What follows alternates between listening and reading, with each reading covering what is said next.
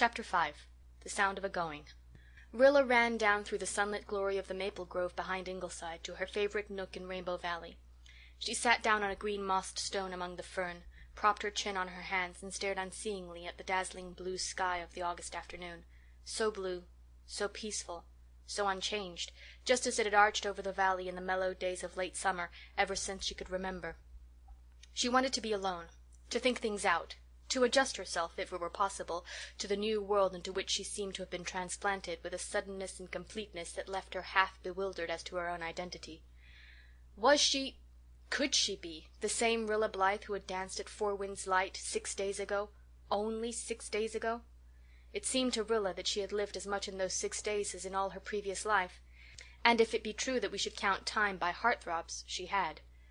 That evening, with its hopes and fears and triumphs and humiliations, seemed like ancient history now. Could she really ever have cried just because she had been forgotten and had to walk home with Mary Vance? Ah, thought Rilla sadly, how trivial and absurd such a cause of tears now appeared to her. She could cry now with a right good will, but she would not she must not. What was it Mother had said, looking with her white lips and stricken eyes as Rilla had never seen her mother look before? When our women fail in courage, shall our men be fearless still? Yes, that was it.